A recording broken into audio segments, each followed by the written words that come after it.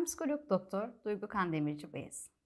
Ege Üniversitesi Sağlık Kültür Spor Daire Başkanlığı Psikolojik Danışmanlık ve Rehberlik Biriminin Psikoloji Seminerleri Haftası bağlamında bugün sizlerle motivasyonu konuşacağız. İlk sorumuz, motivasyon nedir? Şöyle kısaca çok net bir tanım vereceğim size. Motivasyon, bunu neden yapıyoruz sorusunun yanıtıdır. Motivasyonu konuşurken öncelikle davranıştan bahsediyor olacağız. Zaten kelimenin kökeni de movere yani hareket kelimesinden geliyor. O zaman şunu sormamız gerekiyor. Davranışı ortaya çıkaran nedir? Elbette ihtiyaçlarımız. Yani acıkınca yemek yeriz, susayınca su içeriz. Tabii buna birazdan geleceğiz. Diğer yandan biz bir davranışı ne kadar sıklıkla ve ne kadar süreyle yaparız? Bu da bizim e, motivasyonumuzun miktarını gösterir bize. Motivasyonun göstergeleri nelerdir? Motivasyonun öncelikle davranışsal göstergelerini konuşacağız. Örneğin çaba. Ben bir işi yapmak için ne kadar motiveysem o iş için o kadar çaba harcarım. Sevdiğiniz bir dersin, sevdiğiniz bir konusunda bir ödev yaptığınızı düşünün. Daha fazla çaba harcar, o iş için daha fazla özen gösterirsiniz. Diğer bir göstergemiz gecikme. Eğer ki bir işi yapmak sizin için diğeri kadar keyifli değilse, o konuda harekete geçmekte biraz daha gecikirsiniz. Örneğin, sevdiğiniz bir e, işi yapmak için hemen harekete geçerken, sevmediğiniz bir işi daha belki erteleyerek daha yavaş yavaş yaparsınız. Diğer bir göstergemiz devamlılık. Bir işe başlamak, onun için harekete geçmek kadar onu ne kadar zaman devam ettirdiğimiz de önemlidir. Her birimiz döneme motive başladık belki. Ama acaba bu motivasyon dönem içerisinde de sürüyor mu? Motivasyonun bir diğer göstergesi seçimlerimizdir. Örneğin bir arkadaşınızla görüşmek istiyorsunuz. Canınız sıkılıyor. Ama hangi arkadaşınızla görüşeceksiniz? Hangi arkadaşınızla görüşmek size daha keyif verecekse onu seçersiniz değil mi? Bir diğer motivasyon göstergesi yüz ifadelerimizdir. Farkında olsak da olmasak da daha motive olduğumuz işlerde yüzümüz daha fazla güler. Daha fazla keyifle yaparız o işleri. Karşımızdaki insanlardan da bunu e, görmemiz mümkündür. Diğer bir motivasyon göstergesi ise beden duruşumuzdur. Diyelim bir yere yetişeceğiz ve bir arkadaşımızla karşılaştık. Biraz sohbet ettikten sonra yavaş yavaş adımlarımız diğer tarafa dönmeye, gözümüz saatimize bakmaya başlar. Bu da karşımızdakine oradan artık gitmemiz gerektiğini gösteren bir gitmem gerekiyor motivasyonu göstergesidir. Şimdi biraz motivasyonun türlerine bakalım. Temelde üç tür motivasyondan bahsediyoruz. Birincisi motivasyonsuzluk, ikincisi dışsal motivasyon, üçüncüsü ise içsel motivasyon.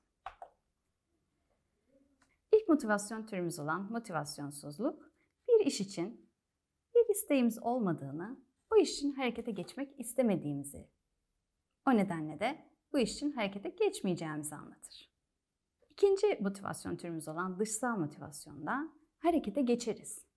Ancak bu harekete geçme içerisinde bizim bazı dışsal motivatörlerimiz vardır. Ne gibi? Bunlar bazen olumlu sonuçlardır. Yani ödüllerdir. Bazen olmasını istemediğimiz şeylerdir. Yani cezalardır. Bu neyi gösteriyor bize? Biz bir davranışı gerçekleştirdiğimizde eğer ki bir ödüle ulaşmak ya da bir cezadan kaçmak istiyorsak burada biz bu işe, bu davranışa dışsal motive olmuşuz demektir. Peki içsel motivasyon nedir? İçsel motivasyonda da bir ödül vardır. Ama bu ödül tam da bu yaptığımız işin kendisidir. Yani ben resim yapmayı seviyorsam eğer, resim yapmak benim için kendi içinde motivasyonu olan bir iştir. Ben o içsel motivasyonla o resmi yaparım. O resmi yapmaktan bir karım, bir e, getiri, beklentim olmasa da ben bu resmi yapmaya devam ederim. Motivasyon konusundaki iyi haber bizim bir işe aynı anda hem içsel hem de dışsal olarak motive olabileceğimizdir. Örneğin Aylin. Tenis oynamayı seviyor. Tenis oynamak aynı zamanda onun sağlıklı kalmasına yardımcı oluyor. Can bilgisayar oyunları oynamayı çok seviyor. Ama bilgisayar oyunları oynamanın Can'a başka bir getirisi yok. Selma restorandaki işinden hiç keyif almıyor. Ama maddi açıdan da bu işe ihtiyaç duyuyor. Levent bilgisayar oyunu oynamayı hiç sevmiyor. Aynı zamanda bilgisayar oyunlarının ona getirdiği herhangi bir kazanım da yok. Muhtemelen bu durumda Levent bilgisayar oynamayacaktır diyebiliriz. Peki içsel motivasyonla dışsal motivasyon arasındaki fark neden bu kadar önemli? Öncelikle içsel motivasyon öğrenmenin kalitesini, niteliğini artırır. Biz eğer bir işi gerçekten severek, isteyerek, o işten keyif alarak yapıyorsak çok daha kaliteli, çok daha nitelikli bir iş ortaya çıkarırız. Bu çalışmak için de böyledir, bir ödev yapmak için de böyledir, bir yemek yapmak için de böyledir. Seçimlerimiz bizim özellik algımızı yükselterek içsel motivasyonumuzu artırır. Seçtiğimiz bir işi çok daha keyifli yaparız. Diğer yandan dışsal motivasyonun içsel motivasyon üzerinde olumsuz bir etkisi vardır. Örneğin işini sadece para için yapan birini düşünün. Bir 30 yılı sıkılarak, hiç keyif almadan geçireceğini söyleyebiliriz. Tabii dışsal motivasyon dediğimizde bu bize sadece maddi ödülleri hatırlatmıyor. Ödev teslim tarihleri, komutlar, yarışmalar, bazen tehditler. Bunların her biri aslında dışsal motivasyonlardır ve içsel motivasyonumuza zarar verebilirler. Yani çok severek yaptığımız işi düşünelim. Mesela pasta yemek. Pasta yemeği ben aslında çok seviyorsam ama biri bana diyorsa ki bir gün, bundan sonra her gün mutlaka bir dilim pasta yiyeceksin. Bu benim için bir keyif olmaktan çıkar bir zorunluluk haline gelir. Şimdi birazcık daha işi karıştıracağız. Çünkü amotivasyonu anladık, içsel motivasyonu da anladık ama dışsal motivasyon birazcık daha dallı budaklı. Dışsal motivasyonda 3 alt boyuttan bahsediyoruz. Birincisi az önce de bahsettiğimiz dışsal düzenleme. Yani bir işi yalnızca ödül için ya da cezadan kaçmak için yapmak. Diğeri ise içe alınmış düzenleme. Yani ben bir işi yıllardır yapıyorum. Örneğin hiç yalan söylemiyorum. Hiç yalan söylememeye çalışıyorum. Ama bunu neden yaptığımı bilmiyorum. Sadece Küçükken annem bana yalan söylemek kötüdür demiş. O yüzden yalan söylemiyorum. E bu durumda eğer sorgulamadıysam ben bunun neden kötü olduğunu e, ya da neden yapmamam gerektiğini bunu içselleştirmiş değil, doğrudan içe almış, yutmuşum, bütün olarak yutmuşum gibi düşünebiliriz. Bu nedenle yaptıklarımızın biraz e, mantık süzgecinden geçmesi bizim onları daha iyi içselleştirmemize yardımcı olabilir diyebiliriz. Dışsal motivasyonun bir diğer alt türü ise bütünleştirilmiş düzenlemedir. Yani evet ben bir mühendislik öğrencisiyim. Matematik çalışmayı da sevmiyorum. Ama mühendis olabilmem için matematik çalışmak zorundayım. Şimdi burada dışarıdan gelen yani amacım için yaptığım bir şey var. Ama bunun sonucunda gelen bir ödül de var. Yani amaçlarımız için davranışta bulunuyorsak burada bütünleştirilmiş bir dışsal motivasyondan bahsediyoruz. Fark ettiyseniz amotivasyondan içsel motivasyona doğru giden bir oktan bahsetmiş oldum burada size. Kısaca özetlemem gerekirse amotivasyonda beni davranışa yönelten herhangi bir şey yoktu. Ve ben o davranışa yönelmiyordum aynı zamanda. Dışsal motivasyonda dışsal gerekçelerle davranışa yöneliyordum. İçsel motivasyonda ise kendim bundan keyif aldığım için. Benim ödülüm bu işi yapmanın kendisi olduğu için bu işi yapıyorum. Bu durumda bir ok doğrultusunda gidecek olursak biz davranışlarımızda amotivasyondan içsel motivasyona doğru gittikçe daha keyifli, daha içselleştirerek davranışta bulunmuş oluruz. Peki, motivasyonun bileşenleri nelerdir? İhtiyaçlar, bilişler, beklentiler ve atıflar. İhtiyaçlar dediğimizde az önce de buraya geleceğimizi söylemiştik. Bizim çeşitli ihtiyaçlarımız var. Öncelikli olarak fizyolojik ihtiyaçlarımız. Yani açlık, susuzluk, uyku ihtiyacı gibi. Bunları karşılamak için biz davranışlarda bulunuruz. Acıkmak beni yemeye motive eder. Uykumun gelmesi beni uyumaya motive eder. Bizim bir de psikolojik ihtiyaçlarımız vardır. Bunlar özellik, yeterlilik ve ilişkili olmak üzere üç boyutta incelenebilir. Özellik dediğim zaman benim gerçekten yapmak istediğim şeyi kendim seçerek yapmamdan, kendi isteyerek, kendi bağımsızlığında yapmamdan bahsediyoruz. Yeterlik dediğimizde gerçekten bu işi yapmak konusunda kendimi yeterli hissetmemden bahsediyorum. İlişkili olmada ise bir davranışta bulunurken diğerleriyle ilişkilerimi sağlıklı bir şekilde sürdürebilmekten bahsediyorum.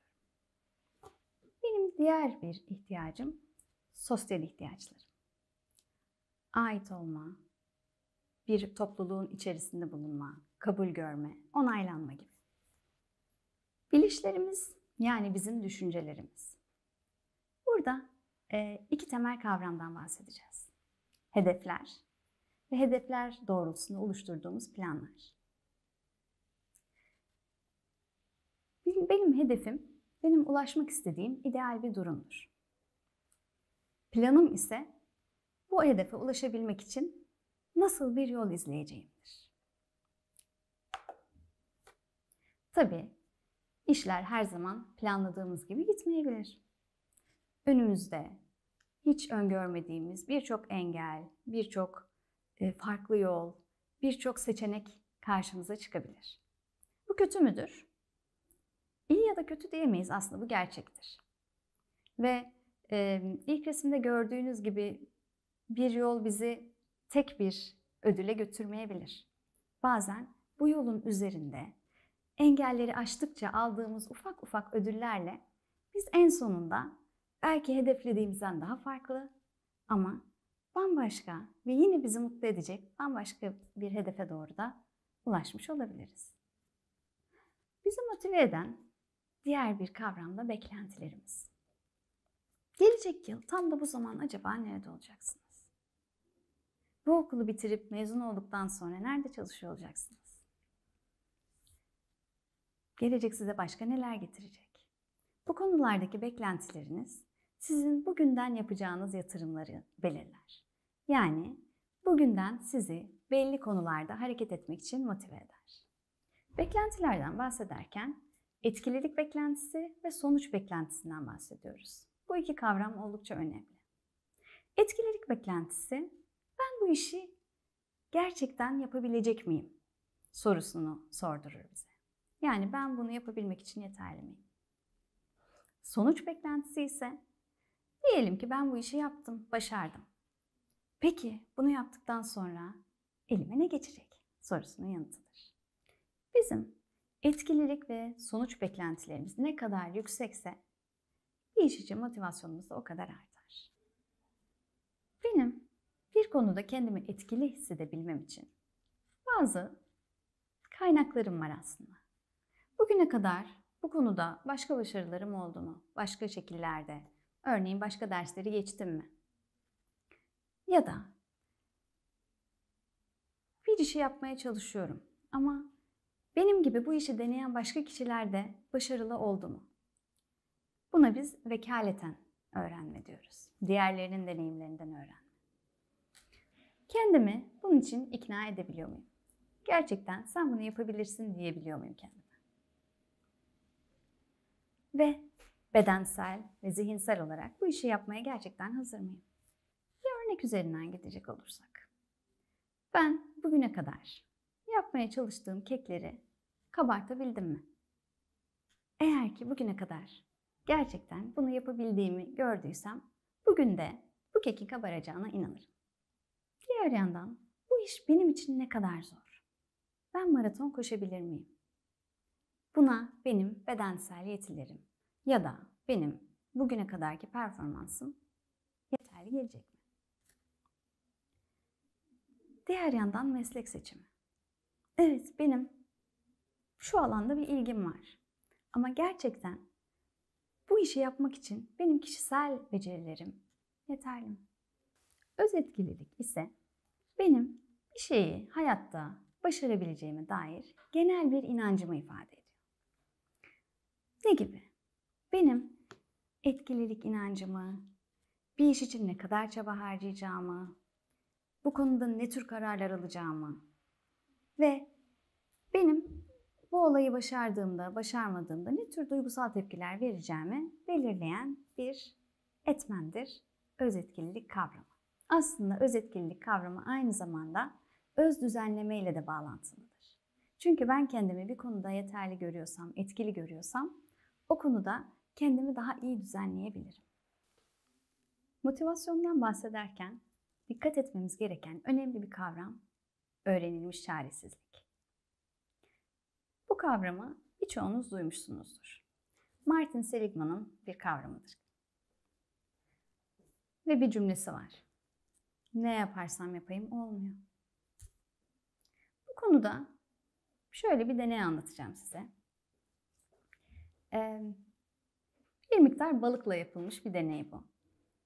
Kocaman bir akvaryum ve ortasında bir cam bölme. Bir tarafa büyük balıkları koyuyorlar, diğer tarafa da küçük balıkları koyuyorlar. Karnı aç olan büyük balıklar büyük bir hevesle küçük balıkların olduğu tarafa doğru hücum ediyor. Pat! Birden cama varıyorlar. Bir, iki, üç, dört, beş. Bir süre sonra bakıyorlar ki ne kadar çabalarlarsa çabalasınlar o geçip o balıklara ulaşamayacaklar. Ve bir noktadan sonra kendi etraflarında öfkeli öfkeli dolanmaya başlıyorlar. Ve artık camın diğer tarafına geçebilmek için bir çaba harcamıyorlar. Bir süre sonra o cam kaldırılıyor. Ama görülüyor ki buradan sonra artık balıklar, büyük balıklar küçük balıklara doğru herhangi bir hamle yapmıyor. Artık bir engelleri kalmamış olsa da. Şimdi insanlardan bir örnek vereceğim. Bundan önce iki defa sunum yapmak için hazırlandım. Çıktım ve o kadar çok heyecanlandım ki hiç sunamadım. Bir daha ben sunum yapmak için çıkmayacağım. Çünkü belli ki ben bu işi beceremiyorum. Tanıdık geldi mi?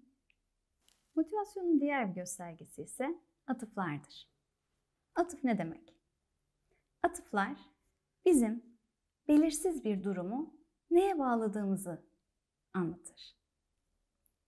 Yani saat kaç oldu arkadaşım hala gelmedi.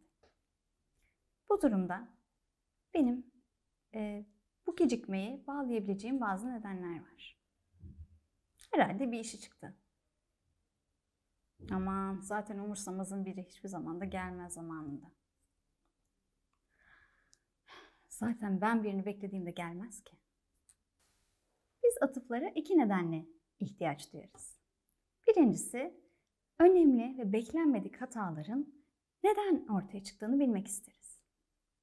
İkincisi ise önceki deneyimlerimizden elde ettiğimiz bilgileri sonraki durumlar için kullanmaya ihtiyaç duyarız. Örneğin ben bu dersten neden kaldım? Bunun nedenlerini araştırırken birçok farklı varsayımda bulunabiliriz. Kendimize atıflarda bulunabiliriz, dersin zorluğuna atıflarda bulunabiliriz, koşullara atıflarda bulunabiliriz.